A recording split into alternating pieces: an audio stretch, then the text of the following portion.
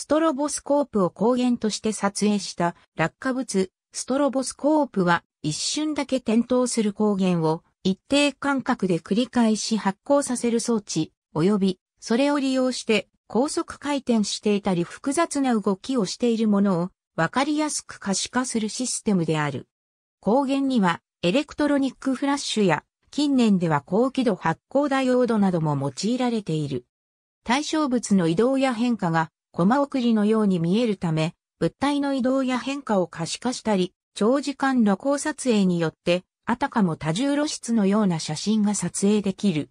また、回転などの周期運動をする対象物に用いると、ストロボ効果によって見かけ上の運動速度を変化させて観察できる。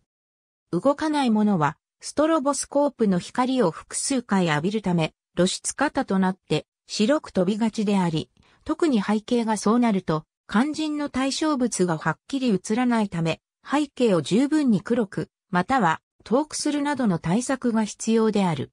フラッシュメーターを使えば、被写体上の複数点で露光量を調べることができるため、撮影前に適正露出を確認できる。産業用途では、エンジンやモーターなど高速で回転するものの回転数の計測や移動するものの速度の計測などがある。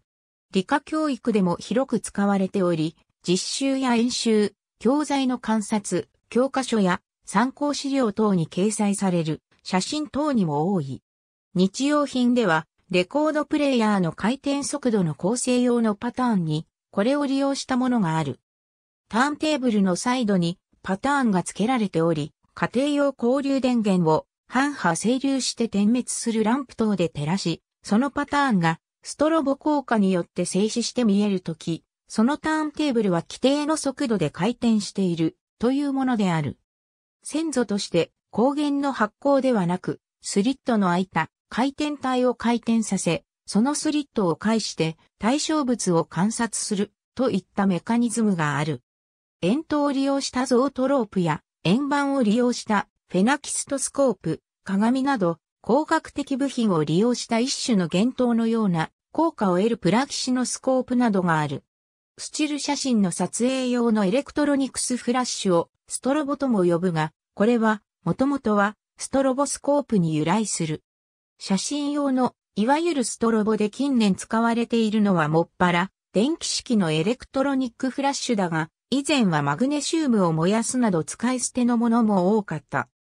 なお、レンズ付きフィルムのストロボの流用がアマチュア工作には手頃だが、商品の特性に最適化してあるため、一般のフラッシュ製品と比較すると寿命が極端に短い場合があり、工夫が必要なことがある。ありがとうございます。